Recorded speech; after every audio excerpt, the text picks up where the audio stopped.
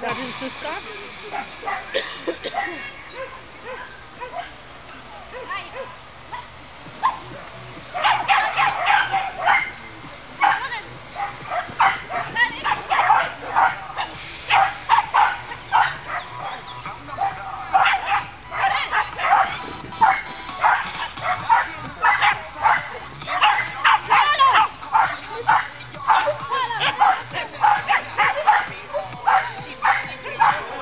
Und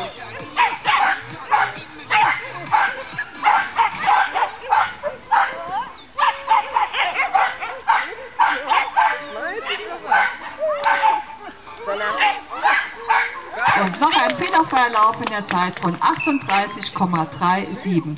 Am Start Claudia Zenner mit